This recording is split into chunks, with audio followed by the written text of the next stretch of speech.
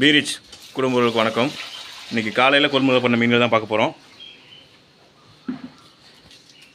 நல்ல ஃப்ரெஷ்ஷான மஞ்சப்பாறை. பெரிய சைஸ் தான். தூண்டில் மீன். அதோட துண்டு. அப்புறமா கோழியாமரல் வந்திருக்கு. ஒரு கிலோ அதுக்கு மேலே உள்ள சைஸ் வந்திருக்கு. நல்லா ஃப்ரெஷ்ஷாக இருக்குது பார்த்தாலே தெரியும். ரேட்டும் குறைவாக தான் கொடுத்துருக்கோம்.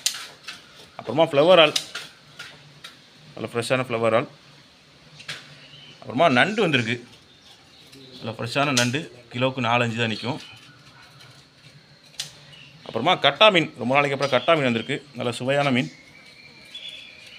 தூண்டில் மீன் தான்.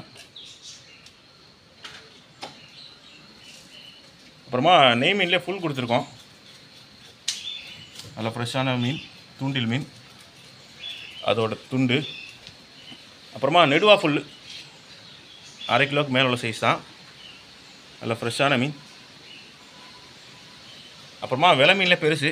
இதுவும் பார்த்தீங்கன்னா அரை கிலோக்கு மேலே உள்ள சைஸ் தான் இருக்குது தேவைக்கு ஏற்ற மாதிரி ஆர்டர் பண்ணிக்கோங்க. அப்புறமா வெள்ளைச்சூரை. நல்லா ஃப்ரெஷ்ஷான வெள்ளைச்சூரை. அதோடய துண்டு. இதுவும் ரேட்டு குறைவாக தான் கொடுத்துருக்கோம். அப்புறமா விலை மீனில் சின்னது கொடுத்துருக்கோம். கிலோவுக்கு ஒரு மூணு நாலு அந்த மாதிரி நிற்கும் அப்புறமா சாதாரண நவரை. நல்ல ஃப்ரெஷ்ஷான சாதாரண நவரை. பார்த்தாலே நல்லா தெரியும். அப்புறமா சென்னவரை வந்திருக்கு. நல்லா ஃப்ரெஷ்ஷான சென்னவரை. அப்புறமா கண்ணங்குழி சலை.